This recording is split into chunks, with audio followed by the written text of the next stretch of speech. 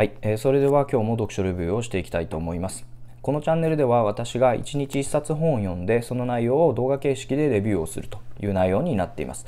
で具体的にはビジネス書とか一般教養についてまた習慣化継続化についての本や心理学メンタルについての本をご紹介することが多いです。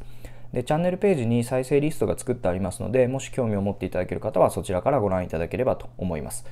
でこの動画のレビューのモチベーションとしてはですね、まあ、こうやって日々自分がま知識を本から得ていく中でですね何か皆様に、えー、まあ、その知識を共有したりとかまた新しい気づきを、え得ていただく助けになればというふうに考えてレビューをさせていただいてます。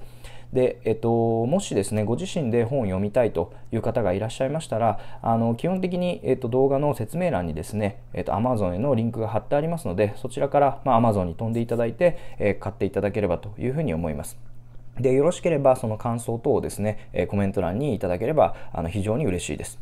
でまた私にこんな本読んでほしいなというようなリクエストがあればそちらもあのどの動画のコメント欄でも結構ですので、えコメントいただければ、えいつか読ませていただけると思います。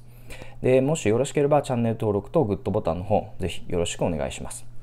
で今日はですね、えーと、こちらの発信型英会話類語使い分けマップというタイトルの本をご紹介したいと思います。で、まあ、タイトルの通りなんですけれども、えーとまあ、英語についての本です。で昨日も英語についての本をご紹介しましたけれどもちょっと最近、まあ、英語の学習を、えーまあ、してますのでご紹介したいと思ってご紹介します。でこの本はですね、えーまあ一点、まあ、あの端的に本の内容をご説明したいと思いますがネイティブがま自然に使い分けている単語のニュアンスの違いというものを解説しています。で、えーとまあ、具体的には動詞形でま30個ぐらいで形容詞形で15個ぐらい名詞形で15個ぐらいの、えーと、意味が近いんだけれども微妙にニュアンスが違うような単語っていうのを、えー、紹介してます。でちょっと具体例がないと分かりにくいと思うのでちょっと具体例をご紹介したいと思います。で例えばですね、えーと、L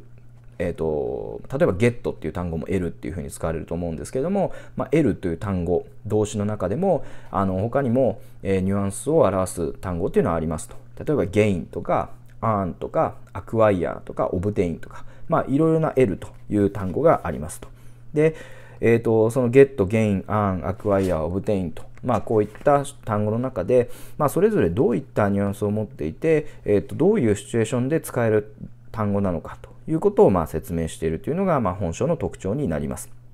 で、えーとですので、あのー、今もちろん Get, Gain, Earn, Acquire, Obtain 紹介しましたけれども、えっと、それ以外の L というニュアンスを持った単語であったり、イディオムっていうものも、まあ、周辺知識として紹介されています。で、この本が非常に重要だなと思うところはですね、今ご紹介してわかるように、あの、各単語っていうのは、まあ、非常にシンプルですということが特徴としてあります。でネイティブっていうのは実はそんなに難しい単語を使っていなくてあの非常にシンプルな単語を使って文章を構成することが多いんですけれどもただだそのシンプルなだけにですねそのどの単語を使うかっていうニュアンスを間違ってしまうともう全然通じないということが、まあ、実際に、えー、私の経験でも非常によくありました。でなのでこういったネイティブが持っている動詞であったりとか、まあ、名詞のニュアンスっていうのを理解をして、えー、使いこなしていくっていうのは、まあ、非常に重要だと思います。なので、まあ、あの特にですね英会話をする方であったりとか、まあ、英作文をする方ですねあの自分からま積極的に発信をしていくような機会があるような方、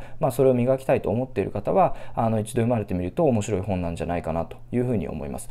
で、えーとまあ、内容としてはですねその単語帳のようなあのたくさんの単語を取り扱っているものではないのであの読みにくいということはありません。むしろあの納得感というか、まあ、気づきみたいなものがありながら読み進めることができますので結構あのサクサクと読める本なんじゃないかなというふうに思います。でもちろんあの一度では内容わからないと思いますのであのこれを一度読んでまた違う文章を読んでみた時にあこの単語はここで出てきた。えー、単語だなとでどういうニュアンスの違いがあって使い分けてたんだっけっていうことを、まあ、この本に戻ってきてまた考えてみると、まあ、そういった使い方がいいんじゃないかなというふうに思いました。はい、今日は以上です。もしよろしければチャンネル登録とグッドボタンの方ぜひよろしくお願いします。